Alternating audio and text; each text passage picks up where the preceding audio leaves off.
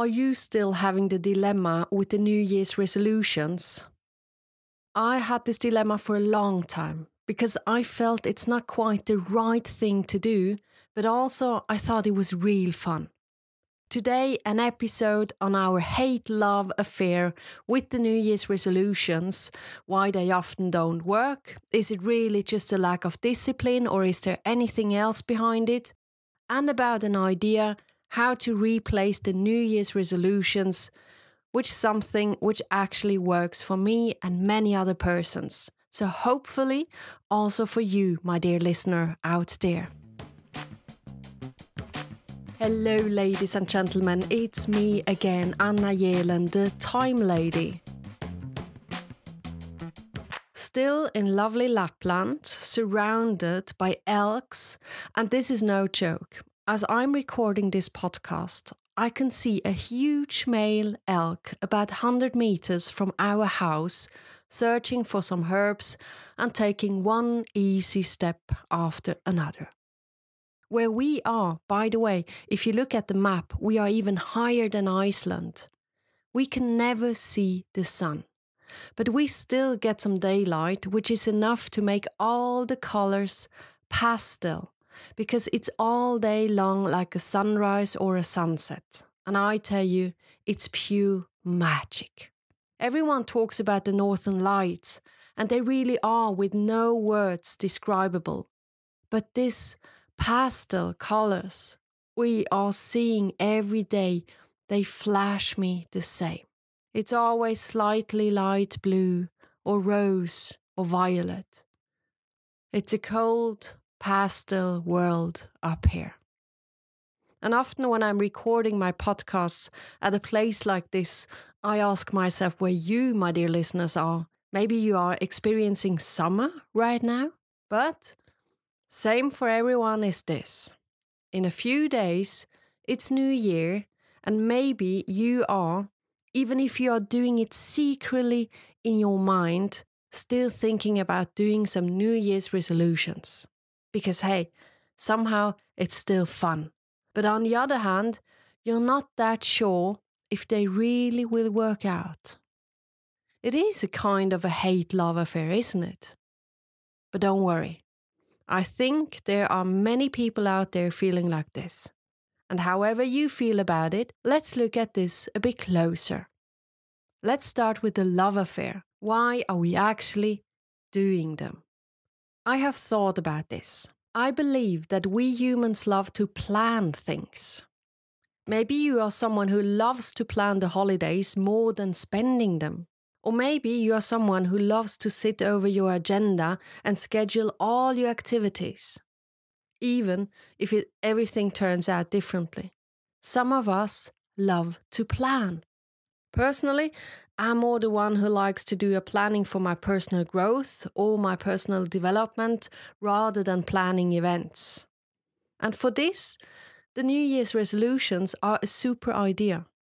So, the days before New Year, we love to start to think about it. Oh, what could I do better next year? We love to imagine ourselves better without smoking or doing more sports or eating healthier or being kinder whatever. But we love the idea about it, so we like to plan it as well. But that is when the love story can become a hate relationship because it doesn't always work out as wanted. Why? Many say a lack of discipline. No, I I don't think so. My three simple answers are these. Number one, because you give yourself one bloody chance. I mean, one, that's nothing. And that's the first problem with those resolutions. You have just one go. Number two, the thing is, having unrealistic and high expectations of how something should be can create a huge stress and frustration so it doesn't even start with a positive or good feeling. And like this, there is no way it will work. And number three, you don't really want to change.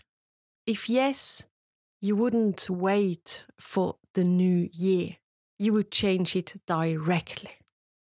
I mean, what we want is some kind of change if we do a New Year's resolution. Now, what is a change? The desire of a change needs to come from the bottom of your heart. It needs to scream so loud that you will change it directly, no matter what kind of date it is. Change is a path. Sometimes it goes harder, sometimes there are obstacles, and sometimes it goes easy. It's not something we can wish for and it will be there.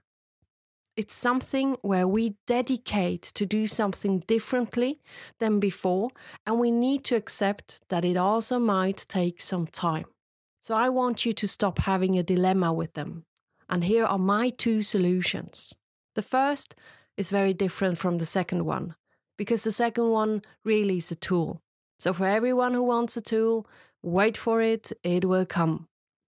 But my first solution is this one let go totally. Don't bother at all.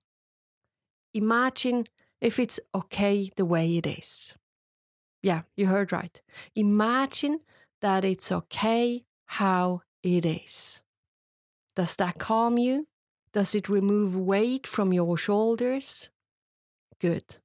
Then leave it exactly as it is because it's okay. This sentence always calms me. How about if it's good as it is? And then you let go. The second solution is a tool. Remember, I said that one of the biggest problems is that we just give ourselves one chance. So, why don't you give yourself more chances? Like 12, for example. Yeah, you guessed it right. I do those New Year's resolutions always in the end of every single month. It's based on the concept to take one step at a time. Often we yearn for instant gratification. We want what we want and we want it now. And this yearning often tricks us into biting off more than we can chew. Think about this quote You can't lift a thousand pounds all at once yet you can easily lift one pound a thousand times. And that is what I want to say that this one time chance, like the classic New Year's resolution idea, is a very small chance to succeed. So every month, there is this reminder popping up in my agenda, normally the last Saturday of the month, and I will sit down for a few minutes and fill out my questions and I will direct them to you, and you can directly see how they work for you. Which were your best moments of the last month? Which were the worst moments of the last month? How can you avoid them for the future? On what would you like to focus in the next month? What would you like to create? And how do you want to be as a person? And what would you like to let go? By the way, the reflections on letting go to be able to move forward is so, so underestimated and important.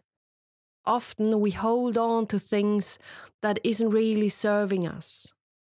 And if you look at these questions regularly, believe me, it's going to make you feel better. I have other questions for you. Are you doing the same faults on and on again? If yes, why? And how could you change this? Give yourself more than just one chance. Give yourself a few chances to move in the direction you want to go. Or again, can you just let go of things? Can you let go of expectations you can't reach? Maybe it's just meant to let them go.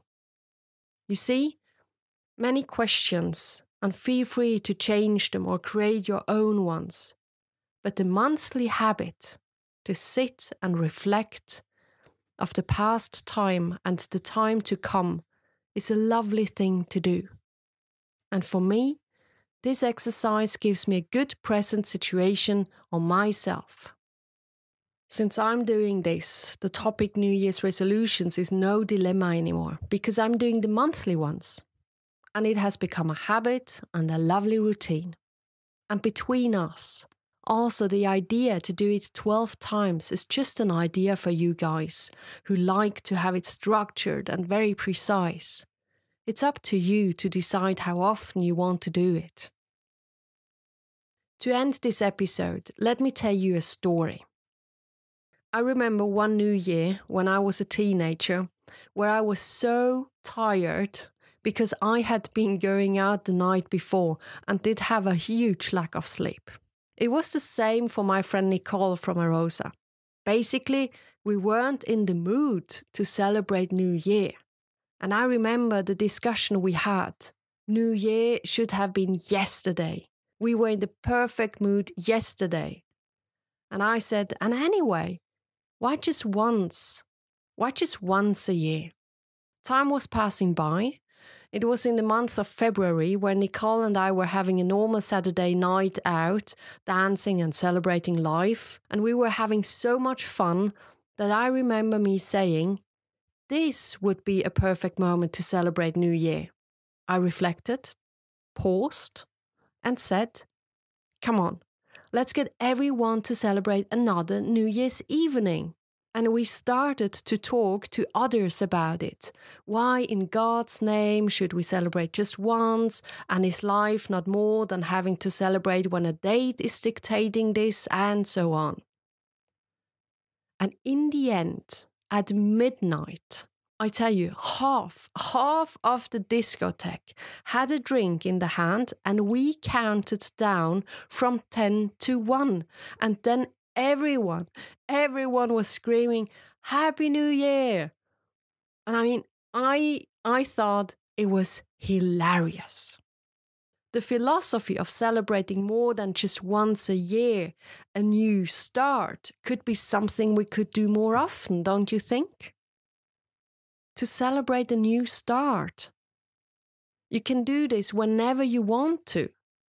And that is freedom, my friend. And we need new starts more than just a few times. You can do them as often as you choose to do them. It's your life and your time. And by the way, Francisca, I know you are listening to me, and I know that you are starting something new. It's a big thing, and I know that you are going to rock it. Now, my dear listener out there, however you celebrate New Year, I'm wishing you all the best for every single day which is coming. I'm wishing you that you can take your days with ease, that you can laugh about yourself, that you can be thankful of still being alive. Now let's celebrate the time we still have. Take care and thank you so much for listening. Bye.